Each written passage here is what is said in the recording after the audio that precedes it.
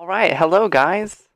I'm happy to see you all here today. Thank you for coming to watch the next broadcast for the Seda College Online Intermediate class. Um, it has been a long time since I have said my name. I said it in our first video, but that was many videos ago, so I just thought I would say again for all the new new people here watching with us today. My name is Austin. Uh, yes, and I am from the United States. Uh, so just for those who are joining us today, it's a quick introduction of myself. Um, okay, well, we have a wonderful lesson planned for today. So, you know, go ahead and, and get situated, get comfortable in your bed, your chair, wherever you are. Um, feel free to say hello in the chat or in the Seda College Online uh, platform comments. Uh, maybe say where you are right now, what's the weather like, anything. Uh, we'd love to hear about where you are and what's going on. Okay, so as always, I'm going to begin with my lesson overview, say exactly what's going to happen in today's lesson, and what all of the parts will be. So, the grammar. We're going to talk a lot with modal verbs today. So, if you were not able to watch my previous class, uh, please go watch the last broadcast because that also talked about modal verbs and we're carrying over. This is basically part two. That was part one. This is part two. Um, and the modal verbs for today are must, have to, and should. So we'll talk a lot about those. Um, the grammar is not complicated, but there's a lot to talk about the meaning for those three. So that's what we'll focus most on today. Next, we'll do a little bit of vocabulary at the end with phones and communication. Uh, it's kind of just a short summary of some good phone vocabulary. And then uh, I'll focus on some pronunciation parts with mustn't and have got to, and we'll come to that in time, so don't worry. All right, so beginning with must. So the meaning for must is, is a modal verb for obligation. So I'm going to say modal verb a lot today. And so if you remember from last class, modal verbs are special words that we use in English to express our feeling about the idea of the sentence. So, do I believe that this sentence is an obligation? Do I believe it is advice? Do I believe that there is a strong intention to do it? Do I believe it is true? Um, all of those things are, are, are coming with uh, modal verbs, and that's kind of their purpose. So, yesterday, or in the previous class, we talked about um, modal verbs of ability, and it was can and could and be able to. So, now we're moving on from ability to obligation. So, must is the modal verb for responsibility or obligation in the present. Uh, it is usually, or it is only a present tense word. It does not change. It cannot change for future, and it cannot change for past. It is only must. Sometimes you can express a future idea with this modal verb, uh, and I'll show an example of that in a moment. So the form, very simple. Subject, modal verb. If the sentence is negative, you put not here and then verb in the base form. So very little grammar to do. It is subject, modal verb, verb base form, just the parts one, two, three. Um, so here are some examples. Uh, for another, the first example is I must write a letter to my grandmother. So there I think it's an obligation. I must do this. Uh, you know, maybe my grandmother sent me a birthday card and I should say thank you and tell her how I am. Um, so there, I think it's a it's a personal obligation. Um, or you must come to the party next week.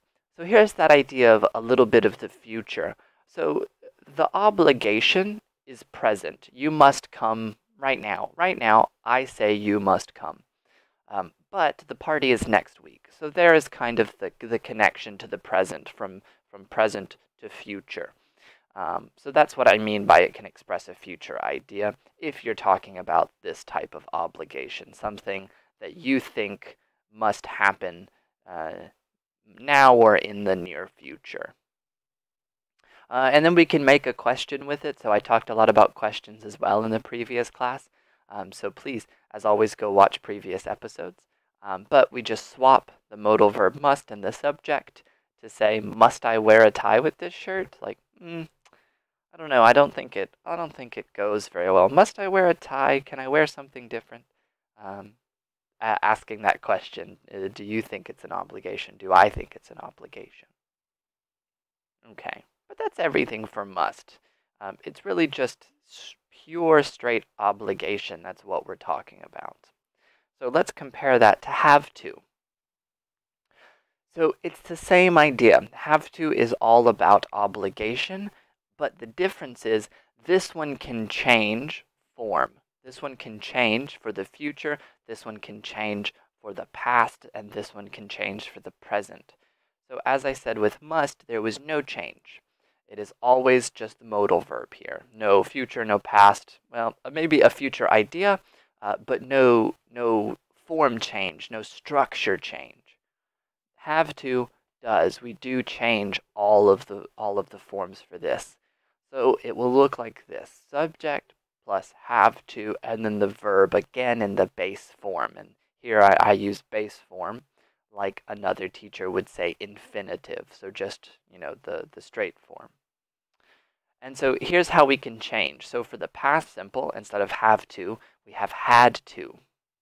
Um, we can do a present perfect example. So instead of have to, it would be have had to. Wonderful, right? Two halves right next to each other. Have had. Um, or we can do a present continuous, is having to. Um, or we can do even other other types of verbs like infinitives and gerunds. So to have to or having to. Um, so all forms are possible here, and that's why we have it. So, you know, must is only for the present, um, with maybe a future idea. But what do I want to do? How do I say an obligation really in the past or an obligation really in the future? Well, this is what have to is for to help express that. So here are some examples. Alex has to wear a suit for his new company job. So here we have has to wear, present simple, and it does change for like I have, he has. Same changes. Or Barbara had to go to the bank yesterday. So a past obligation, something she had to do yesterday. Or we will have to buy a new vacuum soon. Um, you know, maybe our current one is, is starting to, to break or it's making some strange sounds and you say, Ooh, I'll have to buy a new vacuum soon. So uh, we can see here that we have present, past, and future forms for have to. But I, I maybe I can hear you now. But if must is obligation and have to is obligation, how do I how do I know the difference? Well, that's what I'm going to try to explain. So really they are very similar. In the present or the future, you really can use either form, and it, and it doesn't matter. Um, so, you know, if I say, Alex, or sorry, you know, we will have to buy a new vacuum soon, I can also say we must buy a new vacuum soon. And there the sentences are totally equal. It doesn't matter. Um, but there are some situations where one is better than the other. So one, we have a, a grammar rule. So, you know, they are only the same in the present or future. Um, in a perfect or a past example, you know, had, have, or have had, or, you know, I had to do that yesterday, we must use have to um, because it's a, it's a past tense and must cannot be past tense. So there we have a, a grammar requirement. But in the present or future, they're the same. But so what is really the difference? So for this present and future, where I can use one and I can use other, what's the difference? Well, it's very small. Um, generally, must is used for a personal obligation.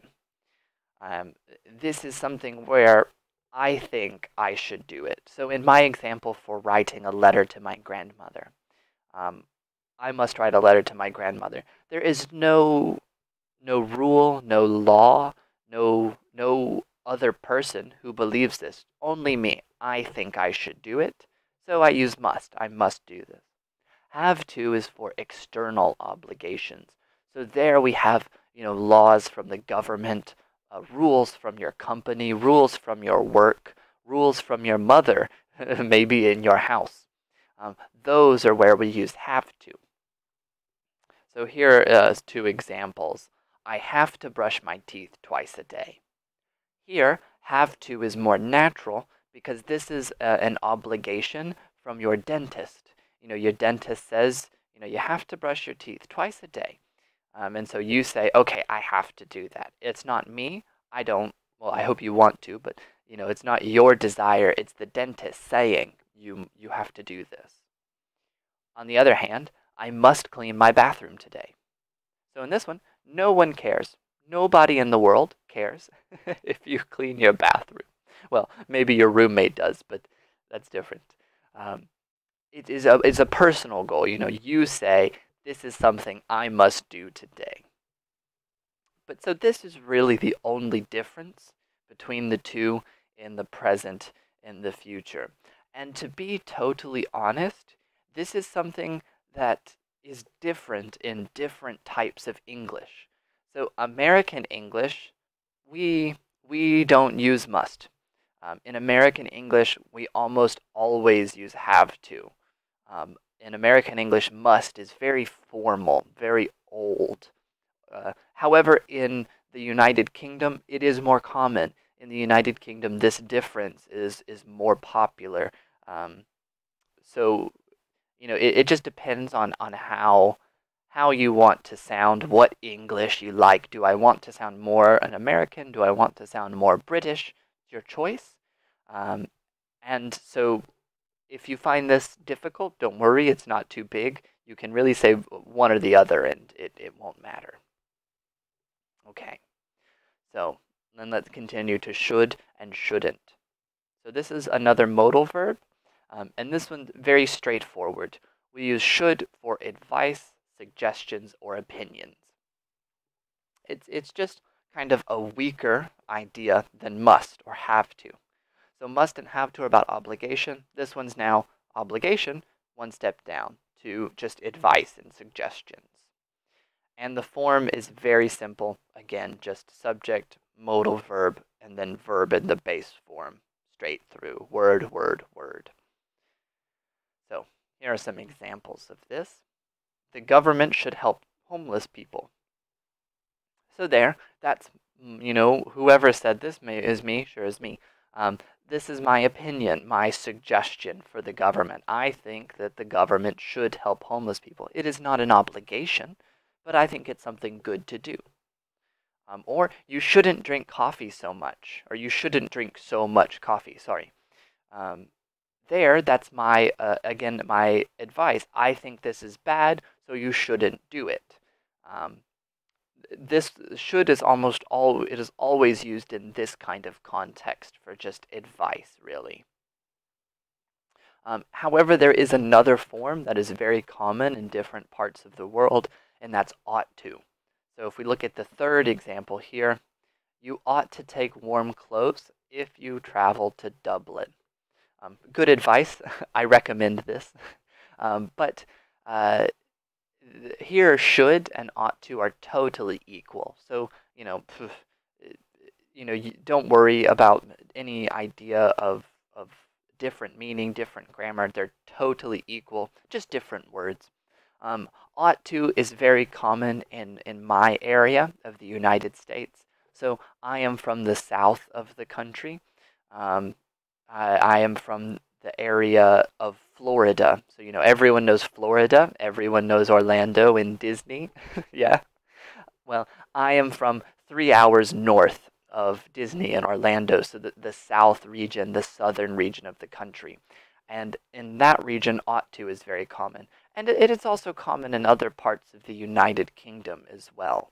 Um, so it's just kind of a, um, a, a conversational thing. If you hear people say ought to, you ought to do that, then no, they, they are giving advice. It means should. Um, pronunciation is a little tricky because the spelling is strange. So I'll say it a few times for you to hear the pronunciation.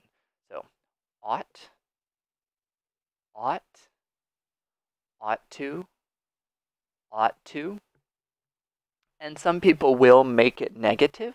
You can hear ought not to.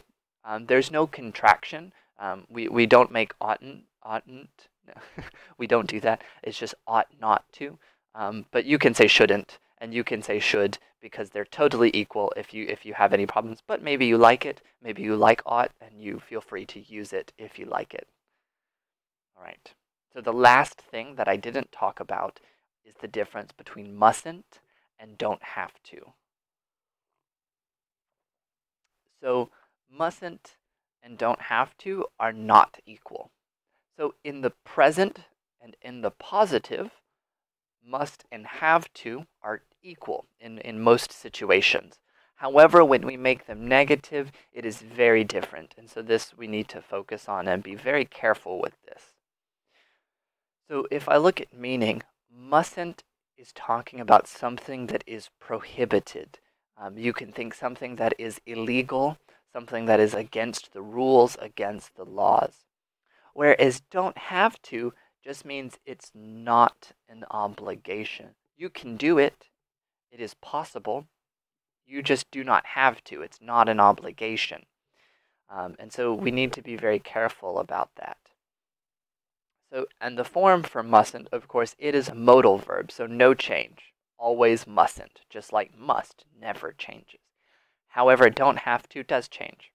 We have don't have to and doesn't have to for present simple. You know, um, I don't, he doesn't. And then we have past as well, didn't have to. So he didn't have to do that. Um, so just be aware this, this one will change for forms because have to is the one that will change for time and forms. So of course the negative side will also change for time and form and.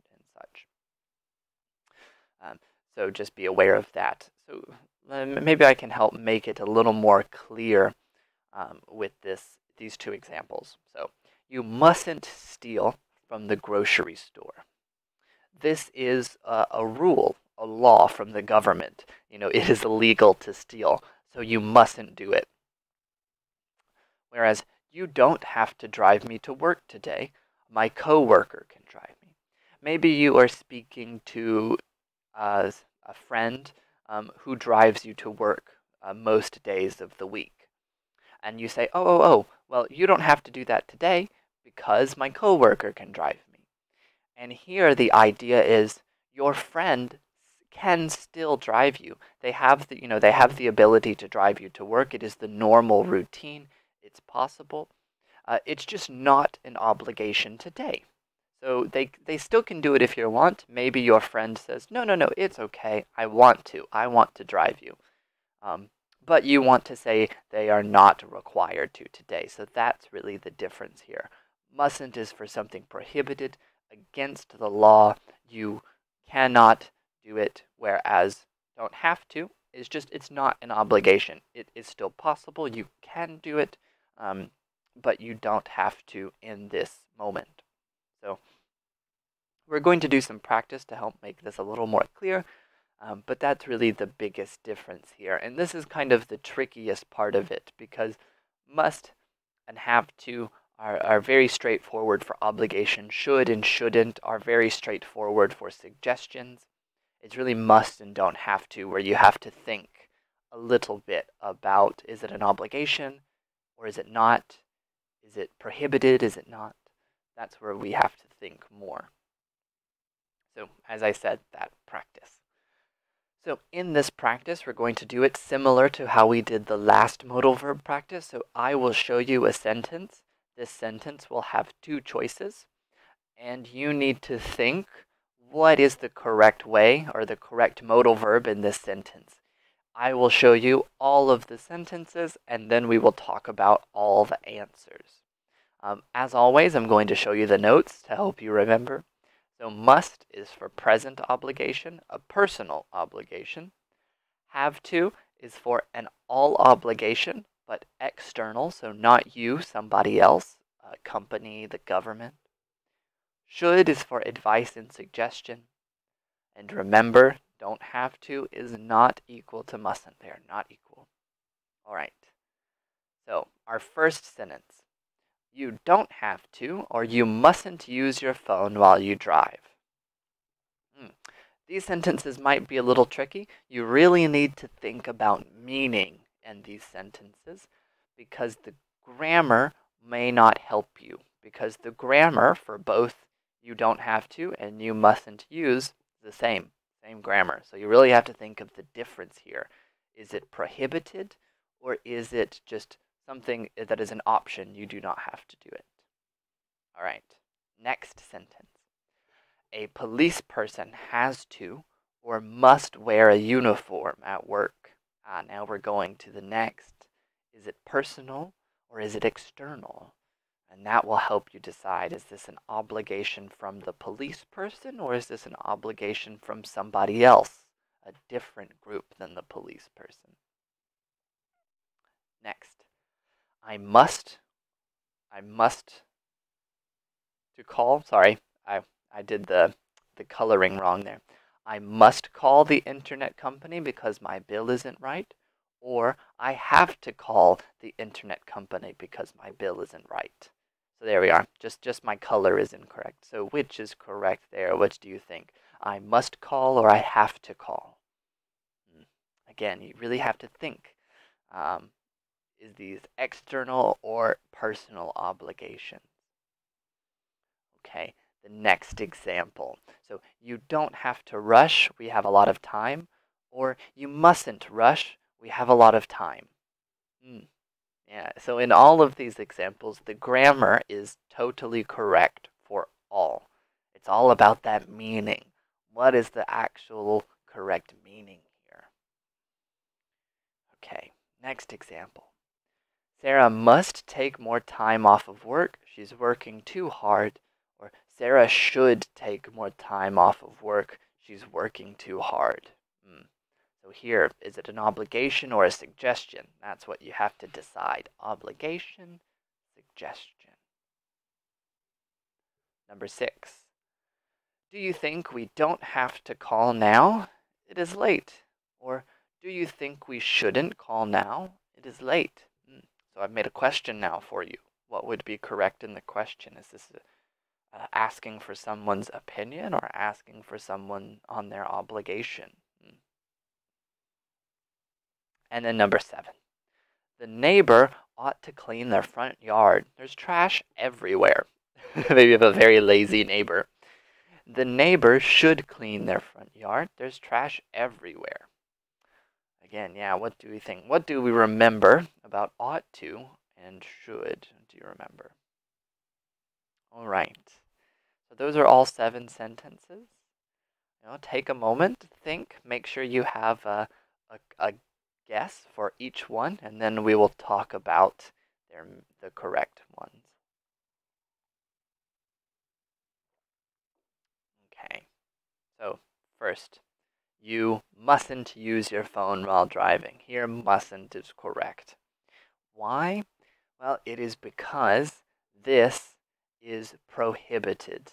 At least in all of the countries I know, it is illegal to use your phone while you drive a car. Maybe there's a country where this is not, where this is not uh, illegal, and then we should you shouldn't. But at least in Ireland, uh, it is illegal. You mustn't use your phone while driving. It is against the law.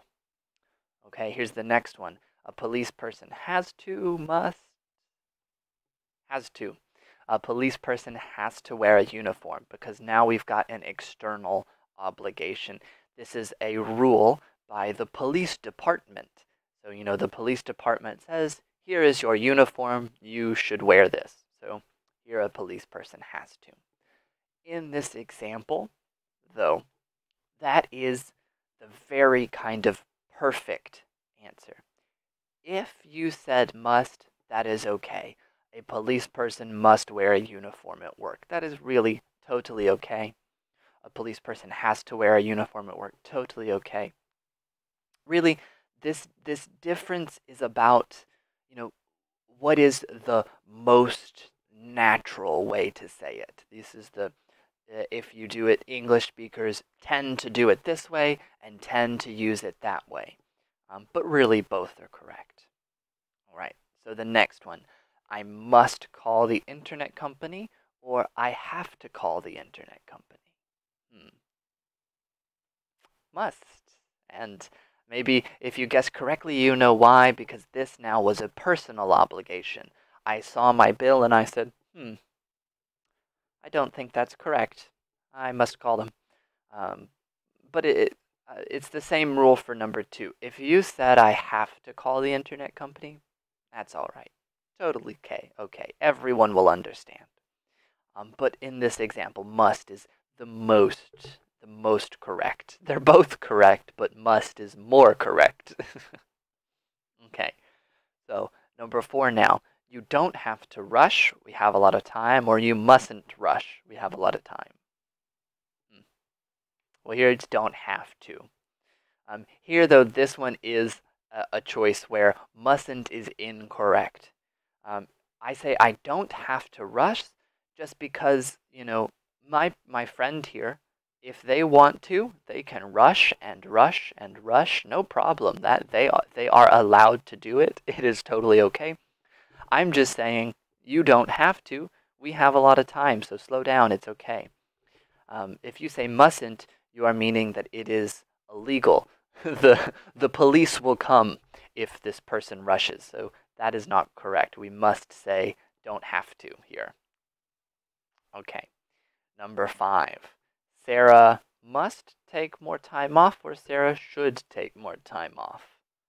Well, here should is better. Should is correct because this is more of a suggestion. Um, I, I don't know many situations. I don't know any situations where you would say you must take time off from work. you must stop working. Um, I don't know if that happens. Maybe it does. Um, but to me, should is better for this situation because it's advice, it's a suggestion. Okay, the next, number six. Do you think we don't have to or shouldn't call now? It's late. This one is shouldn't, uh, because it is, uh, you know, I'm asking for advice. Do you think we shouldn't call now? It is late. Maybe it's a bad idea. Um, whereas, do you think we don't have to call now means I am doing it. Sorry, sorry. I am doing it, but I I don't have to. Do you think it is an obligation or not? Uh, it's not really the idea. It's it's about that opinion we shouldn't call now because it is late. What is your opinion or advice here? So we need shouldn't. Okay. And then number seven, the neighbor ought to or should clean their front yard. Well, here, if you remembered, they're both eh, totally equal. So that's your choice. The neighbor ought to clean their front yard or the neighbor should clean their front yard. No problem, no difference. All right. I hope this makes the, uh, the difference is a little more clear for all of these when it's dealing with obligation and suggestion and advice. It can be a little tricky to, to, to tear apart these tiny differences. Okay, the last thing I want to make clear is some pronunciation. Some of you might be having trouble with mustn't, and that's because the spelling is very bad here. So really, this is incorrect writing, but it is pronounced this way mustn't, mustn't, mustn't. No T. So just whoop, whoop, just remove it, mustn't, and your pronunciation is correct. All right, the next is that in spoken English, have to very often is changed to have got to. The meaning is totally the same, honestly, exactly the same, and the grammar is the same. But when we say have got to, now we have more contractions because have kind of becomes an auxiliary verb. So we've got I've got to, she's got to, she's had to, and we have these contractions now because we've we've added verb got so we can make contractions with have. Yes. English speakers love contractions. We will find every way, every opportunity to make a contraction. Um, and so this is just uh, another kind of uh, thing. This is something you may hear. It is very common when English speakers speak to say have got to. um, when when we mean have to, and, and it's just it's totally the same meaning. So here's some examples. You mustn't text while drive, just for pronunciation here. You mustn't text, but remember spelling always with the T, but pronunciation like this. You mustn't text while drive, driving. That should do it, while driving. And then the next, I've got to go soon. It's getting late. And so this is a very, very, very common sentence where we'll make that contraction. I've got to go, meaning I have to go. Um, but we'll add got to make the contraction I've. We just, we love contractions. That's it. That's it. That's the answer. We love contractions. And then here is a, a present perfect example just to show. She's had to do this before, so don't worry. She has experience. Um, and so this is the present perfect. She has had to do this before. Um, so just to show, we'll make contractions that way as well. Even though there is no got, we'll take have to, go to the present perfect, and make she's had. So just so you know, that is another option as well. All right, but that's everything for the modal verbs. Finally, we're just going to talk about some phone vocabulary. All right. So I'm just going to show you some common verbs used with uh, phones and communication. So the first one is to hang up. That's just to end the phone call. You hung up. To call back. This is to return a phone call. So if someone ever says you should call back or I need to call back or you know call me back, that's what they're talking about. Just to you you did not answer the first time, so please return return my call and call me again in the future. Uh, this is a phrasal verb, so often we will put the person in the middle here. So I need to call the company back. I need to call my mother back. I need to call my friend back. So we'll, we'll split it because it's a phrasal verb. Next, to dial. This is just to put the number into the phone. This is the actual dialing here. Um, next, to text. Uh, this is just to send a message specifically a text message to text. Um, then we have the verb to message. This is more general. Um, this can be email, text, um, instant message, anything. Um, you can use it generally when you're talking about sending a written or typed message to someone. Um, and then finally, we have to leave a message. So this is a, a, a longer verb phrase. Um, really, it's a verb and a noun to leave and then leave a message, but we use it together as one very frequently. And this is to leave a voice message about your phone call when the person couldn't answer. So I don't know, you might not do this much anymore today. This is maybe from five or 10 years ago where uh, voice messages were very, very common. I don't know. Uh, I don't have uh, voicemail much anymore. I still have it, but I do not receive many voice messages anymore. People text me instead more normally. Um, but it, it, this is what you might see. And you know, that was just back in the day when you called someone, they did not answer, you could record a message to say to them. That's what this is, leaving a message. Um, so just here are some examples to show. I've just hung up the phone, so past tense here is irregular. Hang up, hung up. So just be careful with that. You should remember to call your mother back. It's your, you know, she called for your birthday. You missed the call. You didn't answer, so you should call her back. And then maybe you'd say this, shh, he's dialing the number now. Stop, stop, stop, stop. He's dialing. um, I don't know, maybe it's a, a, a joke or some kind of, of call.